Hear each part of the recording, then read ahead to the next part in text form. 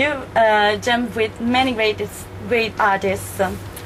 And um, uh, is there anyone you like to jump with that you haven't already?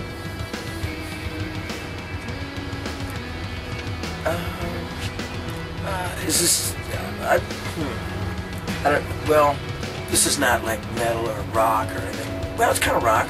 I really like John Mayer. I like his guitar playing, and I'd love to jam with him. I like to write songs with him.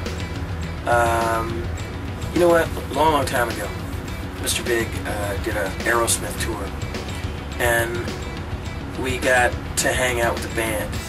And Steven Tyler would come in our dressing room every night before his show. Like we'd play, and then he'd come backstage and go, "Hey, great job, great, great, great job, guys," and um, and then he, we'd sing Beatles songs to warm his voice up, and he when he'd go out uh, and do his uh, Aerosmith thing, and it was such a it was an honor, but like I was so in awe of this guy, great lyricist, funny as hell.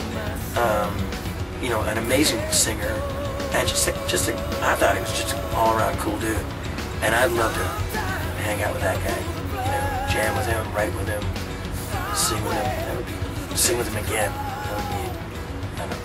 That, that's like on my bucket list. Things to